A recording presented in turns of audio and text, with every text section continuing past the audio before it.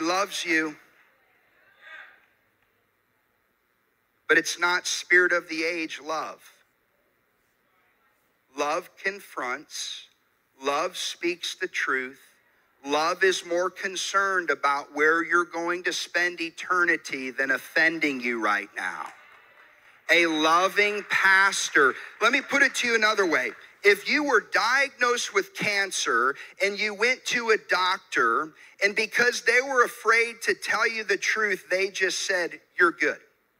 You have a good bill of health and they knew you were dying of cancer, but because they were afraid to tell you the truth, just let you go. Would you be upset about that?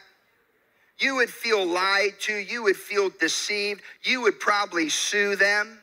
But yet, somehow in the church, we get mad at real men and women of God who are willing to tell us the truth about our spiritual state. And I thank God for a man like Todd Smith and a woman of God like Karen Smith who are not here to please people, they're here to please God. And by the way, as this house gets cleansed, there's greater glory coming. And as God God establishes a culture of prayer and encounter here, we've not seen anything yet.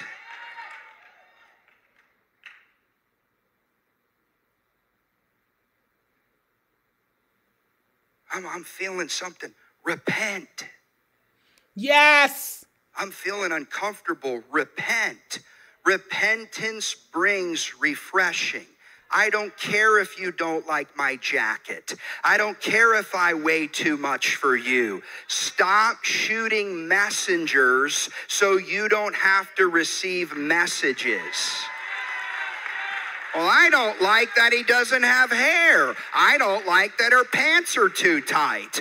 All of that is a deflection away from the Holy Spirit seeking to arrest human hearts.